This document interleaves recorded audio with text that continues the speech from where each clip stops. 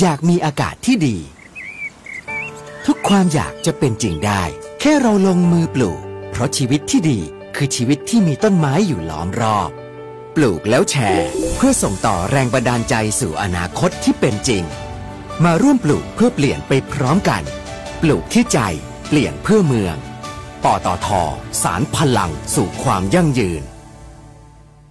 อีกครั้งกับโอกาสการลงทุนในศูนย์กระจายสินค้า และโรงงานระดับพรีเมียม บนพื้นที่ยุทธศาสตร์ถนนบางนาตราด และแหลมฉบัง ในพื้นที่ EEC มั่นคงด้วยรายได้จากกลุ่มผู้เช่าชั้นนำกับกองทรัส WHART เพิ่มทุนครั้งที่ 5 เสนอขายผู้ถือหน่วยเดิมวันที่ 2-6 และ 9-12 พฤศจิกายน และบุคคลทั่วไปวันที่ 2-6 และ 9-13 พฤศจิกายนนี้ สอบถามรายละเอียดได้ที่ ธนาคารกสิกรไทยคำเตือน การลงทุนมีความเสี่ยง ผู้ลงทุนควรศึกษาข้อมูลในหนังสือชี้ชวนก่อนการตัดสินใจลงทุน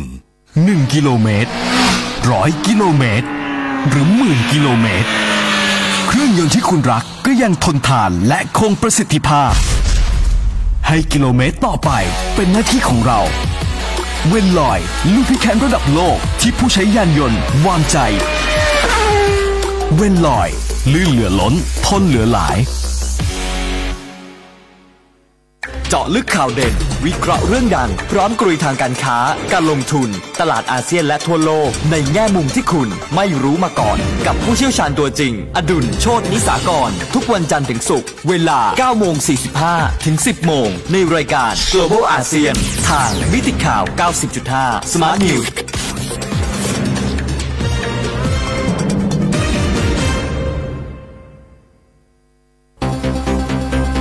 สถานีวิทยุกรมการพลังงานทหาร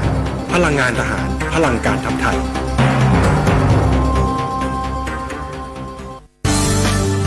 รายการ Insider Talk โดยธนงขันทองและทีมงาน น้ำมันเครื่องเวลลอย เวลลอย ลื่นเหลือล้น ทนเหลือหลาย สวัสดีครับ ขอต้อนรับเข้าสู่รายการ Insider Talk ครับ พบกันอีกเช่นเคยนะครับ ทุกวันจันทร์ถึงศุกร์ระหว่างเวลา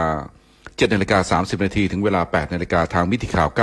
90.5ดำเนินรายการโดยผมธนงขันทองและทีมงาน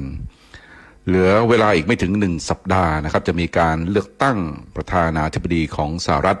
ในวันที่ 3 พฤศจิกายนนะครับ หรือว่าสัปดาห์หน้านะครับ ล่าสุดโพลของ Rasmussen Reports นะครับ ได้รายงานว่าทรัมป์ มีคะแนนความนิยมเหนือกว่านายโจไบเดนนะครับ ผู้ท้าชิงจากพรรคเดโมแครตเราไม่ค่อยจะเห็นโพลที่ทรัมป์นำไบเดนนะครับเนื่องจากว่าที่ผ่านมาโพลที่สำนักข่าวต่างๆทำนะครับ ไม่ว่าจะเป็นของ Wall Street NBC หรือว่าโพลของสำนักอื่นๆ ต่างก็โชว์ว่าโจไบเดนมีคะแนนนิยมนะครับนำทรัมป์ หลายจุดเลยทีเดียว 7 8จุด9จุดนะครับ แต่ว่าล่าสุดมาโพลของ Rasmussen Reports นะครับ ซึ่งค่อนข้างที่จะน่าเชื่อถือนะครับ พบว่า ทรัมป์นะครับนำไบเดน 48%ต่อ 47%นะครับ ส่วนอีก 3%ของผู้ที่ตอบแบบสอบถามนะครับอบอกว่าต้องการลงคะแนนให้ผู้สมัครคนอื่นอีก 2%นะครับยังคง ไม่ตัดสินใจนะครับว่าจะโหวตให้ใครนะครับ ช่วงวันพุธนะครับก่อนที่จะมีการเลือกตั้งในปี 2016 หรือว่าช่วงเวลาเดียวกันนี้นะครับเมื่อ 4 ปีที่แล้วตอนที่ทรัมป์กำลังลงเลือกตั้งแข่งกับนางฮิลลารีคลินตันนะครับผู้สมัครจากพรรคเดโมแครตนะครับ ทั้งสองคนนะครับมีคะแนนความนิยมเท่ากันครับ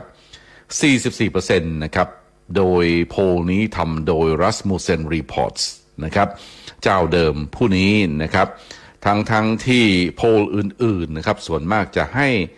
ฮิลลารีคลินตันนะครับ มีคะแนนความนิยมนำทรัมป์ด้วยเหตุนี้เอง นักวิเคราะห์ทางด้านการเมือง หรือว่าผู้ที่สังเกตการณ์ทางด้านการเมืองและคนทั่วไป ต่างก็ฟันธงเกือบจะ ร้อยเปอร์เซ็นต์นะครับมั่นใจว่าฮิลลารีคลินตันจะชนะการเลือกตั้ง แต่ปรากฏว่าฮิลลารีคลินตันพ่ายแพ้ต่อโดนัลด์ทรัมป์อย่างพลิกล็อกมโหฬารเลยทีเดียวทำให้มีการตั้งคำถาม ตั้งแต่ตอนนั้นมาเรื่อยๆนะครับว่าโพลน่าเชื่อถืออย่างไรนะครับ เพราะว่าการทำโพลในปี 2016 ชี้เห็นแล้วว่ามีข้อบกพร่องมากเลยทีเดียว ไม่น่าเชื่อถือนะครับ ตอนนี้ r u s m a n Reports นะครับ พยายามที่จะทำโพลทุกๆวันนะครับ จนกระทั่งไปถึงวันเลือกตั้งนะครับ เพื่อที่จะวัดดูว่าคะแนนความนิยมของผู้สมัครทั้งสองเป็นอย่างไร ซึ่งผลออกมาก็ยังคงคู่ขี้สูสีกันมาก โดยวันจันทร์ที่ผ่านมานะครับ โพลของรัสมูเซนรีพอร์ตชี้เห็นว่า ไบเดนนะครับนำทรัมป์นะครับเพียง 2 จุดก็คือ 49%ต่อ 47%นะครับแต่มาวันพุธนะครับที่ 28 ตุลาคมปรากฏว่า ทรัมป์นำไบเดนไปนะครับ 48เปอร์เซ็นต์ต่อ 47เปอร์เซ็นต์นะครับ เพราะฉะนั้นเองการเลือกตั้งครั้งนี้ค่อนข้างที่จะสูสีมาก ๆ เลยทีเดียวยังบอกไม่ได้นะครับว่าใครจะเป็น ประธานาธิบดีนะครับ หันมาดูบรรยากาศการเลือกตั้งล่วงหน้านะครับที่สหรัฐอเมริกานะครับล่าสุดมาหนังสือพิมพ์ The New York Times นะครับสื่อที่มีอิทธิพลที่สุดนะครับของทางด้านสหรัฐอเมริกา มีการรายงานว่ามีคนอเมริกันจำนวนมากนะครับ ได้โหวตล่วงหน้านะครับ กระแสของการเมืองการเลือกตั้งในปีนี้คึกคักเป็นพิเศษเลยทีเดียว เพราะว่ามีคนแห่ไปใช้เสียงเลือกตั้งล่วงหน้าเป็นจำนวนมากนะครับ เป็นประวัติการเลยทีเดียวไม่เคยเห็นอย่างนี้มาก่อนนะครับณช่วงเที่ยงหรือว่าช่วงบ่ายของวันอังคารที่ผ่านมานะครับ ปรากฏว่ามีคนอเมริกันจำนวน 69 ล้าน5แสนคน ได้โหวตล่วงหน้าแล้วนะครับ การโหวตล่วงหน้านี้กระทำผ่านการกาบัตรนะครับกาบัตรลงคะแนนแล้วก็ส่งบัตรลงคะแนนเข้าไปยังที่หน่วยเลือกตั้ง หรือว่าเดินทางไปโหวตที่คูหาเลือกตั้งนะครับซึ่งก็แล้วแต่ว่าแต่ละรัฐหรือว่าแต่ละเคาน์ตี้นะครับ จะมีระเบียบ การจัดการเลือกตั้งอย่างไร เนื่องจากว่ามีโคโรนาไวรัสก็มีทำให้มีหลายรัฐมีหลายพื้นที่นะครับ ไม่สามารถที่จะจัดการเลือกตั้งแบบคูหา หรือว่าให้คนเข้าไปกากบาทแล้วก็หย่อนบัตรลงได้นะครับทำให้มีการโหวตผ่านไปรษณีย์ค่อนข้างที่จะมากนะครับ คนอเมริกันเองต้องการที่จะลงคะแนนล่วงหน้ามาก ๆ เพราะว่ากลัวว่า ถ้าหากว่าลงคะแนนช้านะครับไปรษณีย์ส่งช้านะครับจะทำให้การนับคะแนนล่าช้า รวมทั้งนะครับอาจจะถูกพิจารณาจากหน่วยเลือกตั้งว่าเป็นบัตรเสียก็ได้ด้วยเหตุนี้ จึงป้องกันไว้ก่อนนะครับด้วยการออกไปโหวตล่วงหน้าเร็วๆหรือว่ากาบัตรลงคะแนนแล้วก็ส่งจดหมายก่อนล่วงหน้าอ่าไวๆนะครับ เพื่อว่าคะแนนของตัวเองจะไม่ได้เป็นบัตรเสียนะครับจำนวน 69.5 ล้านคนอเมริกันที่ออกเสียงล่วงหน้านะครับณช่วงบ่ายวันอังคารที่ผ่านมา เทียบเท่า 50.4%เลยทีเดียวของคนอเมริกันที่โหวตทั้งหมดนะครับในช่วง การเลือกตั้งประธานาธิบดีครั้งที่แล้วก็คือในปี 2016 ที่ผ่านมานะครับ การโหวตล่วงหน้านี้คึกคักเป็นพิเศษนะครับในรัฐที่ถือว่าเป็นรัฐที่เผด็จศึกกันนะครับ ว่าใครได้รัฐเหล่านี้ก็จะมีโอกาสที่จะชนะการเลือกตั้งมากเลยทีเดียวนะครับ รัฐเผด็จศึกนะครับ battleground states นะครับ มีทั้งเท็กซัสนะครับฟลอริดานอร์ทแคโรไลนาจอร์เจียวิสคอนซินและมิชิแกนนะครับ มาดูที่รัฐเท็กซัสนะครับเท็กซัสเองได้รับนะครับโหวตเกือบจะ 87เปอร์เซ็นต์นะครับโหวตที่โหวตล่วงหน้าของคะแนนทั้งหมดที่นับในปี 2016 นะครับ แสดงว่าการโหวตล่วงหน้านี่ค่อนข้างที่จะมากเลยทีเดียว ส่วนฟลอริดานะครับได้รับคะแนนที่โหวตล่วงหน้าเข้ามาแล้ว มากกว่า 2 ใน3นะครับของการโหวตครั้งล่าสุดในปี 2016 North Carolina นะครับได้รับคะแนนโหวตล่วงหน้าไปแล้ว 72%นะครับเทียบกับการเลือกตั้งคราวที่แล้ว และรัฐจอร์เจีย มีการลงคะแนนล่วงหน้าไปแล้วนะครับ 71%นะครับ ส่วนรัฐวิสคอนซินและมิชิแกนนะครับมีการโหวตล่วงหน้าเข้ามาประมาณ 50%นะครับ ตัวเลขนี้เป็นตัวเลขค่อนข้างที่จะไม่น่าเชื่อนะครับ สะท้อนให้เห็นว่าการเมืองของอเมริกันในช่วงนี้เป็นการต่อสู้กันอย่างดุเดือดมากเลยทีเดียว ระหว่างประธานาธิบดีโดนัลด์ทรัมป์และ นายโจไบเดนนะครับ รวมทั้งตัวแทนผู้สมัครพรรคริพับลิกันและพรรคเดโมแครตที่กำลังชิงชัยกันในสภาคอนเกรสด้วยนะครับ เพราะว่าผู้ที่ลงคะแนนเสียงนะครับ ไม่เพียงแต่ลงคะแนนเสียงสำหรับประธานาธิบดีเท่านั้นแต่ยังลงคะแนนเสียงสำหรับสมาชิกของสภาคอนเกรสด้วยนะครับที่จับตาดูกันนะครับว่าครั้งนี้นะครับสภา Senateจะ เป็นของฝ่ายเดโมแครตหรือว่าริพับลิกันจะยังคงสามารถรักษาเสียงข้างมากอยู่ ก่อนหน้านี้นะครับนักวิเคราะห์ส่วนมากมองว่านายโจไบเดนจะเฉือนเอาชนะโดนัลด์ทรัมป์ได้นะครับเป็นประธานาธิบดีเดโมแครตนะครับจะกวาดที่นั่งเสียงส่วนใหญ่ในสภาคอนเกรสนะครับ โดยเฉพาะอย่างยิ่งในสภาSenate ที่ริพับลิกันกำลังครองเสียงข้างมากอยู่ ณเวลานี้ส่วนสภาผู้แทนราษฎรไม่มีปัญหาเดโมแครตครองเสียงข้างมากอยู่แล้วนะครับ การเลือกตั้งในวันที่ 3 พฤศจิกายน จะนำไปสู่การที่เดโมแครตจะครอบครองทั้งทำเนียบขาว White House ทั้งสภา Senate และสภาผู้แทนราษฎรนะครับ นี่คือการประเมินก่อนหน้านี้นะครับ แต่ล่าสุดมาอย่างที่ได้เรียนผู้ฟังได้ทราบนะครับ เริ่มที่จะมีการวิเคราะห์ที่ออกมาในแนวว่าทรัมป์นะครับมีโอกาสเหมือนกันนะครับที่จะชนะการเลือกตั้งกลับมาเป็นประธานาธิบดีอีกครั้งหนึ่ง เนื่องจากว่าเริ่มที่จะมีนักวิเคราะห์บางคนออกมาบอกว่า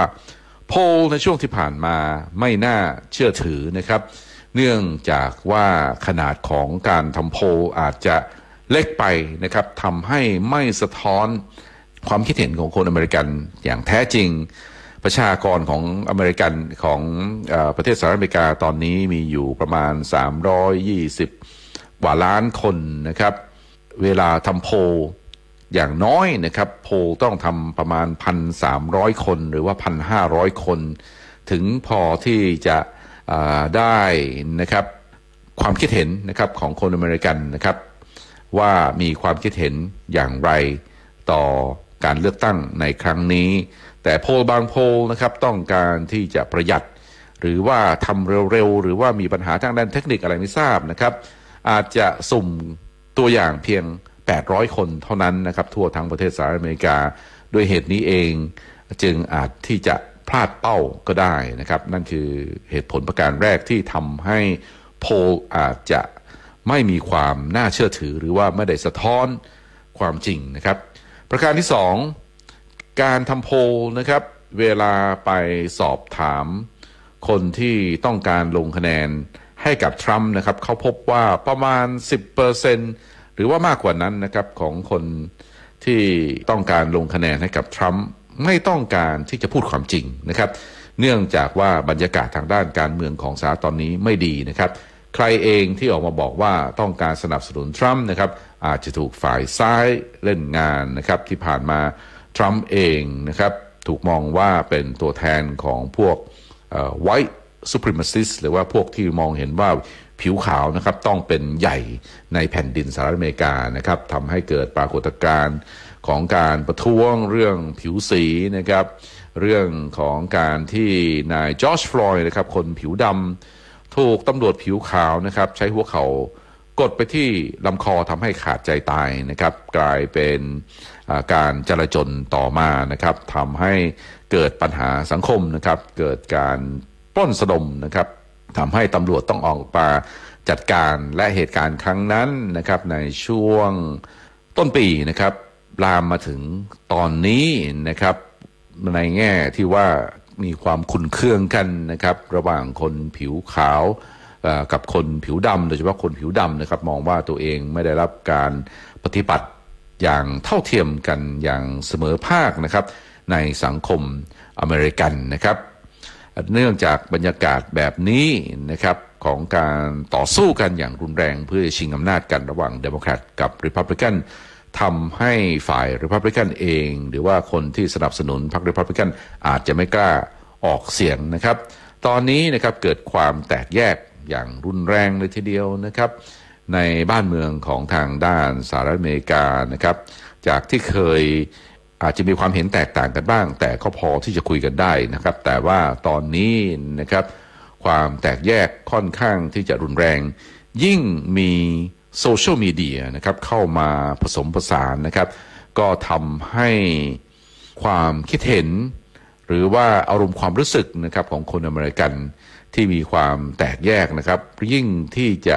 เพิ่มมากยิ่งขึ้นนะครับ ก็ต้องดูนะครับว่าคนอเมริกันนะครับในวันที่ 3พฤศจิกายนที่เหลือนะครับสำหรับผู้ที่ยังไม่โหวตนะครับล่วงหน้า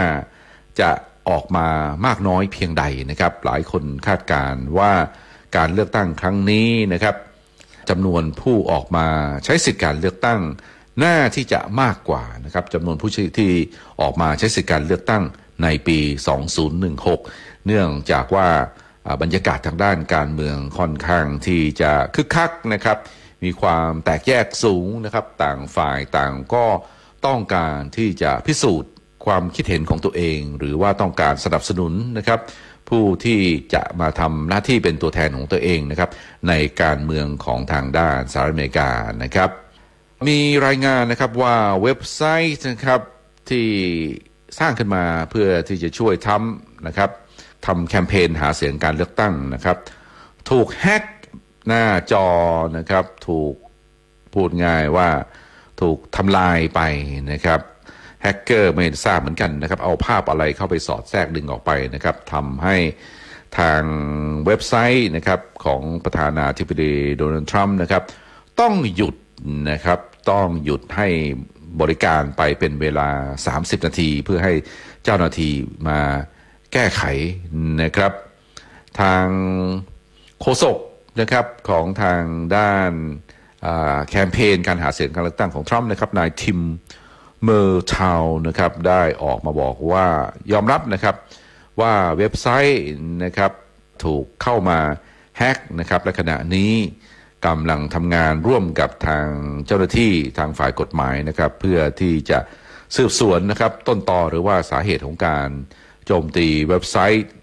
แคมเปญหาเสียงการเลือกตั้งของทรัมป์นะครับ อย่างไรก็ตามนะครับเว็บไซต์นี้ไม่ได้มีข้อมูลอะไรที่ ละเอียดอ่อนหรือว่าข้อมูลในเชิงความลับ แต่ประการใดนะครับไม่น่าเป็นห่วงนะครับ ทาง FBI เองยังไม่ได้มีการคอมเมนต์นะครับหรือว่าออกมาให้ข่าวว่าสงสัยมือมือมืดคนใดหรือเปล่านะครับ หรือว่าฝ่ายใดนะครับที่เข้ามาโจมตีนะครับทางเจ้าหน้าที่ของทางด้านสหรัฐในช่วงที่ผ่านมา ก็บอกว่านะครับการเมืองของทางด้านสหรัฐอเมริกาถูกต่างชาตินะครับเข้ามาแทรกแซงนะครับโดยเฉพาะอย่างยิ่งทั้งอิหร่านเองรวมทั้งรัสเซียนะครับนี่คือหน่วยงานความมั่นคงของทางด้านสหรัฐนะครับออกมาพูดในลักษณะนี้นะครับก็ไม่เข้าใจเหมือนกันนะครับว่าอิหร่านหรือว่ารัสเซียเข้ามาแฮกเข้ามาแทรกแซง การเลือกตั้งแล้วนะครับจะมีผลในการเปลี่ยนให้ผู้ที่สมัครรับเลือกตั้ง หรือว่าผู้ชนะการเลือกตั้ง จะมีการเปลี่ยนแปลงนโยบายอย่างมีนัยสำคัญอย่างไรต่ออิหร่านหรือรัสเซียนะครับดูไม่ออกนะครับเพราะว่าทั้งทรัมป์เองทั้งไบเดนเอง หรือว่าหน่วยงานความมั่นคงต่างๆ ของทางด้านสหรัฐนะครับ ถ้าพูดไว้แล้วนะครับ ไม่ได้มีความแตกต่างกันเลยนะครับ ทั้ง Republican รวมทั้ง Democrat ต่างก็มองว่ารัสเซีย อิหร่านนะครับรวมทั้งจีน รวมทั้งเกาหลีเหนือเป็นศัตรูของทางด้านสหรัฐนะครับ เพราะฉะนั้นเองการที่ต่างชาติอย่างรัสเซียอิหร่านเข้าไปแฮกนะครับ ก็ไม่ได้ประโยชน์อะไรนะครับ ถือว่าเป็นการลงทุนที่ศูนย์เปล่าประโยชน์นะครับ เมื่อสัปดาห์ที่แล้วนายจอห์นรัดคลิฟนะครับซึ่งเป็นผู้อำนวยการของ หน่วยข่าวกรองแห่งชาติของทางด้านสหรัฐอเมริกานะครับ ออกมาระบุชัดเจนนะครับว่าอิหร่านและรัสเซียนะครับเป็นสองประเทศที่มีความเป็นต้นเหตุนะครับหรือว่ามีส่วนร่วมนะครับในการปล่อยข่าวเท็จนะครับ หรือว่ามีการแฮ็กเข้าไปในดัตต้าเบสนะครับหรือว่าศูนย์ข้อมูลของผู้ที่มีสิทธิ์ลง คะแนนเสียงนะครับในการเลือกตั้งประธานาธิบดีในครั้งนี้นะครับ รวมทั้งนะครับมีการระบุถึงอีเมลนะครับที่ออกมาในลักษณะคมคู่นะครับ จากกลุ่มขวาจัดนะครับ Proud Boys นะครับ ซึ่งส่งไปยังผู้ที่มีสิทธิ์ออกเสียงในรัฐฟลอริดาและรัฐอื่นๆอีกครับ การเมืองของสหรัฐอเมริกาในช่วงนี้ค่อนข้างที่จะ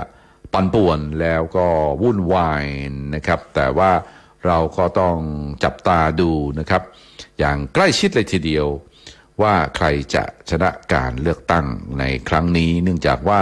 จะมีผลเหมือนกันนะครับ ถึงแม้ว่าในเรื่องความมั่นคงอาจจะไม่เปลี่ยนแปลง แต่อาจจะมีผลต่อตลาดนะครับ เนื่องจากว่านโยบายของนายโจไบเดนนั้นนะครับ ต้องการที่จะขึ้นภาษี หรือว่ายกเลิกนะครับ มาตรการการลดภาษีของทรัมป์ ที่ทำในปี 2017 นะครับ แต่ว่าทั้งคู่นะครับทั้งทรัมป์เองและก็ไบเดนก็ไม่ได้มีความแตกต่างกันมากนะครับ ในเรื่องการดำเนินนโยบาย deficit spending นะครับหรือว่าการใช้จ่ายงบประมาณแผ่นดินที่ขาดดุนนะครับเพื่อที่จะกระตุ้นเศรษฐกิจนะครับ มาฟังความเห็นของนายเจฟ กุนแลกนะครับซึ่งเป็น CEO ของบริษัทที่แนะนำการลงทุนนะครับบริหารจัดการการลงทุนนะครับ Double Line Capital นะครับเขาออกมาบอกว่านะครับเขาเชื่อว่าประธานาธิบดีโดนัลด์ทรัมป์จะชนะการเลือกตั้งและจะกลับมาเป็นประธานาธิบดีในสมัยที่สองนะครับ ถึงแม้ว่าโพในช่วงที่ผ่านมา จะระบุว่า นายโจไบเดนนะครับมีคะแนนความนิยมนำห่างทรัมป์ก็ตาม แต่เขาบอกว่า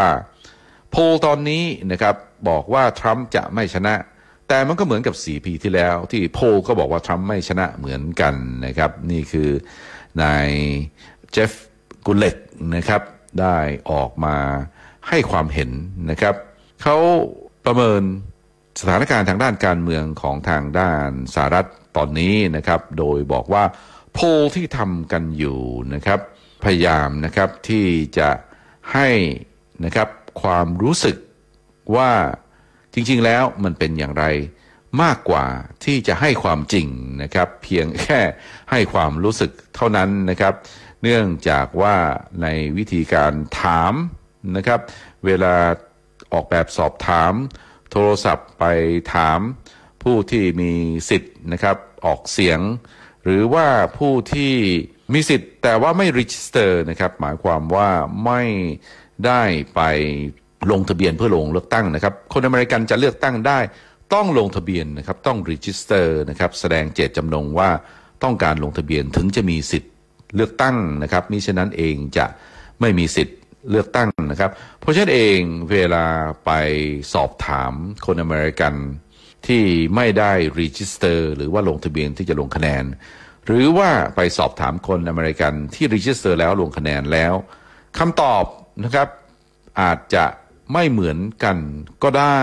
นะครับ นี่คือจุดอ่อนของการทำโพลครั้งนี้นะครับ เหมือนอย่างที่ผมได้เรียนผู้ฟังได้ทราบนะครับ ว่าขนาดของ sampling นะครับหรือว่าขนาดของแบบสอบถาม จะมีมากน้อยเพียงใด เวลาถามถามไปนะครับ อาจจะสุ่มเดโมแครตมากกว่าริพับลิกันถ้าหากว่าสุ่มตัวอย่างเดโมแครตมากกว่าริพับลิกันนะครับแทนที่จะถาม 50-50 นะครับ ก็อาจจะทำให้ได้คำตอบที่ไม่ตรงกับความเป็นจริงนะครับ เนื่องจากว่าคนที่